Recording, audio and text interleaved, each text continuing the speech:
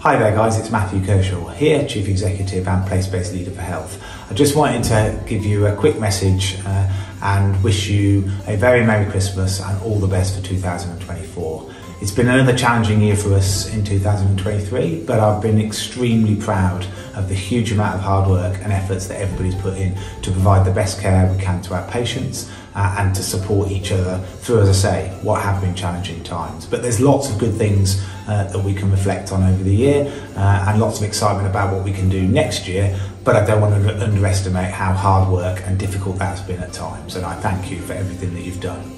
Those of you who were working over Christmas uh, and New Year, uh, thank you very much for doing that because it's an important time for you uh, to be apart from your families at this time and we are hugely grateful for you doing that.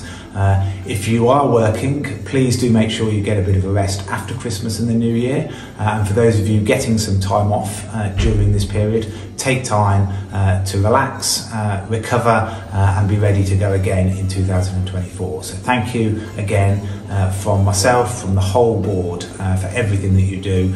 I'll see some of you out and about over the Christmas week and indeed Christmas morning when I'm on site.